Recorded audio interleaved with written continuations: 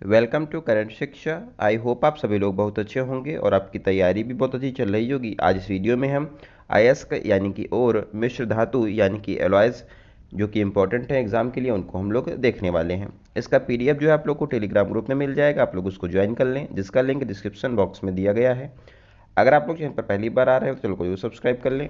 यहाँ पर हम लोग जो है सीरीज़ में कंप्लीट केमिस्ट्री को रिवीजन कर रहे हैं शॉर्ट नोट्स के माध्यम से। अगर आप लोगों ने पिछली क्लासेस को नहीं देखा तो आप लोग उनको भी ज़रूर देखिए। पिछली क्लास में हम लोगों ने कुछ क्वेश्चन आंसर किए थे। आज हम लोग जो है, धातु और उनके अयस्क जो हैं, यानी कि और, इनको देखने वाले हैं। यहाँ पर जो है हमारी धातुएँ दी गई हैं और इधर अयस्क, यानी कि और दिए गए हैं। सबसे पहला हमारा धातु है सोडियम यानी कि एन सोडियम का अयस्क, यानी कि और हो जाएगा। चिली साल्ट पीटर और इसका केमिकल नेम है N NO three Chile saltpetre sodium का अयस्क है। इसके अलावा बोरेक्स जिसको सुहागा भी कहा जाता है।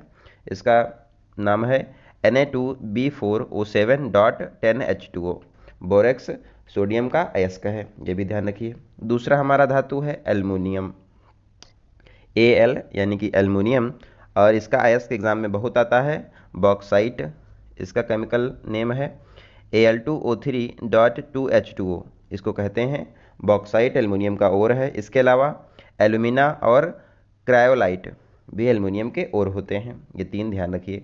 नेक्स्ट है आयरन, यानी कि एफ़ ई आयरन के अयस्क हैं magnetite F E three O four haematite F E two O three और सेडेराइट एफ़ ई सी ओ थ्री यहाँ पर आयरन के ओर हो जाएँगे। और वे होते हैं जहाँ से हमको जो मेटल हैं, ये मिलते हैं बाद में। उनका जब उनको शुद्ध किया जाता है। और क्या है कि हमारी जो पृथ्वी है, वहाँ पर ऐसे ही मिलते हैं और उसके बाद इनको रिफाइन किया जाता है, तब जाकर मेटल हमारा मिलता है। कॉपर जो हमारा हो जाएगा सी यू इसके एस कहें कॉपर, पायरेटीज़, और यहाँ पर C U F E S two copper, pyrites है। Copper glance C U two S copper glance हो जाएगा, और ये हो जाएँगे कॉपर के अयस्क। कॉपर, पायरेटीज़ को जो है चालको पायर, पायराइट भी कहा जाता है, ये भी ध्यान रखेंगे। और कॉपर पायराइट से, कॉपर को जिस विधि से निकाला जाता है, उसका नाम है झाग प्लवन विधि के द्वारा कॉपर को कॉपर पायराइटिस से अलग किया जाता है। ध्यान रखिए। नेक्स्ट है पीबी, यानी कि लेड। लेड का इंपॉर्टेंट अयस्क है, पीबीएस, यानी कि गैलेना, इसका अयस्क है। एग्ज़ाम में बहुत बार आया हुआ है। नेक्स्ट है जिंक। जेड एन जिंक का अयस्क है, जिंक ब्लेंड यानी कि जेड एन एस और calamine Z N C O three यहाँ से जिंक को प्राप्त किया जाता है। थ्योरियम जो है, ये पाया जाता है मोनोजाइट मृदा में और ये मृदा पाई जाती है भारत में केरल में। ध्यान रखिएगा, केरल केरल में जो है थोरियम के भंडार बहुत पाए जाते हैं। यूरेनियम का इंपॉर्टेंट अयस्क है, पिंच ब्लेंड। एग्ज़ाम में बहुत बार पूछा गया है कि पिच ब्लेंड किसका यहाँ पर अयस्क है तो ये हो जाएगा यूरेनियम का अयस्क। नेक्स्ट है, कैल्शियम और मैग्नीशियम का अयस्क है, डोलोमाइट दोनों का है। कैल्शियम और मैग्नीशियम दोनों डोलोमाइट से प्राप्त किए जाते हैं। मरकरी यानी कि एच जी का अयस्क हो जाएगा। एच जी एस यानी कि मर्क्यूरिक सल्फाइड। यहाँ पर जो है मरकरी का अयस्क है और इसी को जो है सिनेबार भी कहा जाता है। ये ध्यान रखिए। आगे देखते हैं।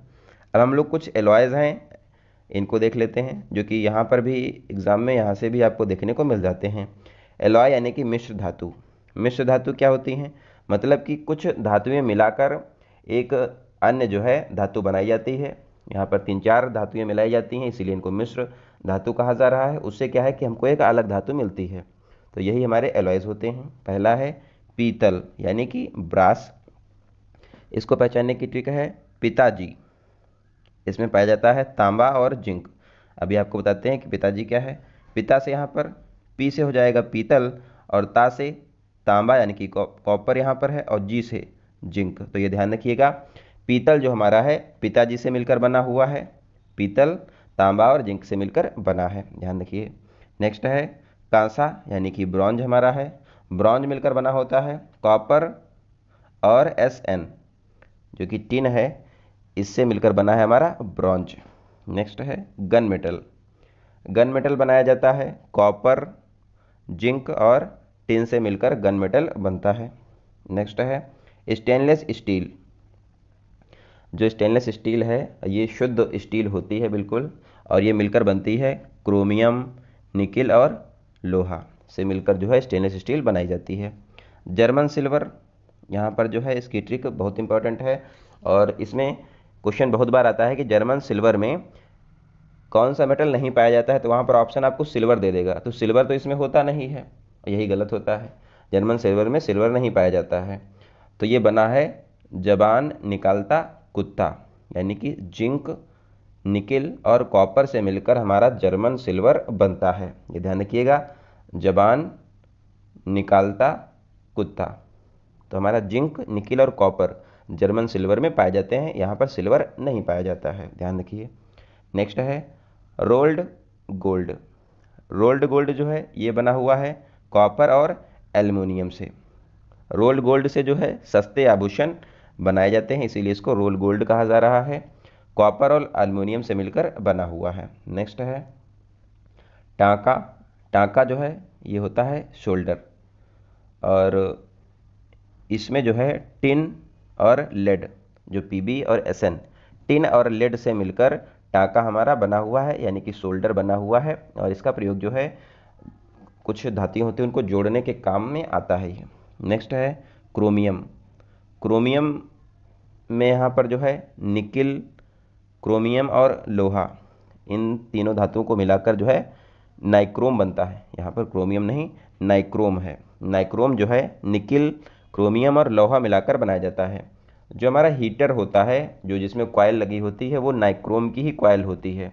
इसका जो है गलनांक ज़्यादा होता है मतलब कि ये मेल्ट इतनी आसानी से नहीं होता है। ध्यान रखिए। मूर्खों का सोना जो है, इसको कहते हैं फूल्स गोल्ड और ये होता है आयरन पायरेटीज यानी कि एफ़ एस टू जो है, मूर्खों का सोना फूल्स गोल्ड इसको कहा जाता है आयरन पायराइटीज इसको कहते हैं। धावन सोडा में जो है पूछा गया है कि जल के अणु कितने होते हैं। तो धावन सोडा सोडा है हमारा N A two C O three dot ten H two O तो इसमें जो है पानी के दस अणु पाए जाते हैं। यहाँ पर आप देख पा रहे होंगे टेन एच टू होता है। नेक्स्ट है ammonium chloride N H four C L को क्या कहते हैं? तो इसको नौशादर कहा जाता है। ये ध्यान रखिएगा। तो हम लोगों ने इस क्लास में जो है एलोआई और ओर देखा है।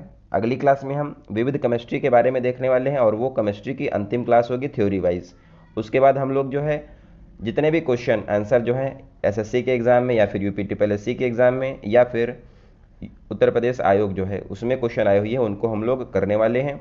तो आप लोग चैनल से ज़रूर जुड़े रहें और आपको क्लास जैसी भी लगी हो, आप लोग कमेंट बॉक्स में ज़रूर बताइए। मिलते हैं अगली क्लास में, तब तक आप लोग अपना ध्यान रखें। धन्यवाद। जय